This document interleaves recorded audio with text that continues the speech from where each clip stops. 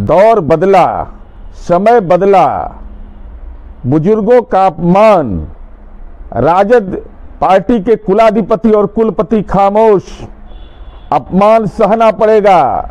दिवगंत रघुवंश बाबू को मानसिक प्रताड़ना मिला।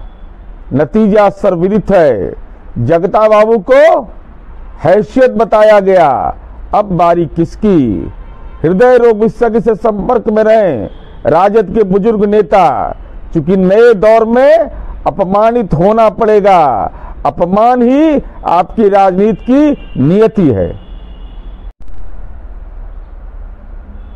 दौर बदला, समय बदला, बुज़ुर्गों का अपमान